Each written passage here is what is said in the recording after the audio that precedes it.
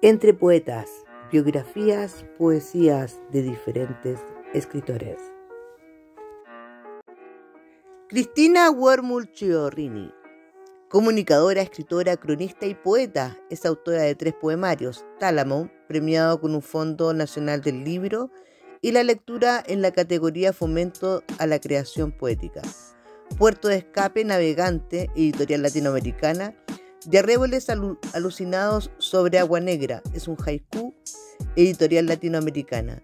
Ha sido incluida en varias antologías poéticas, Raíz y Luz del Tiempo, Voces de Agua y Sol, Voces a la Noche, donde se publicó su obra La Cama Desierta, premiada en el concurso de poesía de la Ilustre Municipalidad de Las Condes, Aster Poetry de Brighton, Tiempos Turbulentos, Pen Chile y LOM, también editorial de la antología. Letras desde el encierro, Pen Puerto Rico y Resistir, Pen Internacional con traducción a francés, entre otras.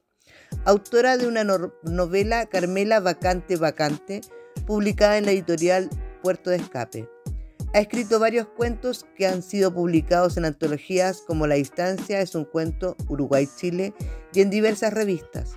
Ha sido incluida en numerosas publicaciones como la revista Entre Paréntesis, Nube Cónica, Fanzine Chonchón Lebu, Actitud, La Estaca y el blog literario El Peso Luble, Costa Rica. Miembro de la Sociedad de Escritores de Chile, dirige su filial Oscar Castro y del grupo Los Inútiles de la Sexta Región.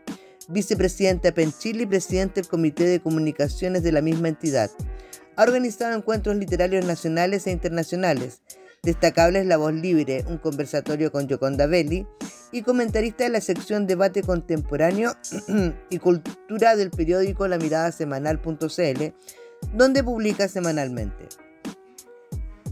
Ha desarrollado talleres de creación literaria a privados de libertad de cárceles de la sexta región en un programa conjunto del Ministerio de la Cultura, las Artes y el Patrimonio y Gendarmería, con el objetivo de lograr mejorar las posibilidades de reinserción social e imparte desde hace un lustro un par de talleres de narrativa, Bellas Plumas, al alero de la Sociedad de Escritores y Ráfagas de Viento en forma privada. Ha participado en diálogos en movimiento en el marco de los programas de fomento a la lectura en cárceles y escuelas de la sexta región. Tiene un cuarto poemario por entrar a imprenta Malditos Labios, a la carta y se encuentra revisando un libro que compilará sus crónicas publicadas en la mirada semanal y un tercero de cuentos en edición bilingüe inglés-castellano. Montaña en la ventana.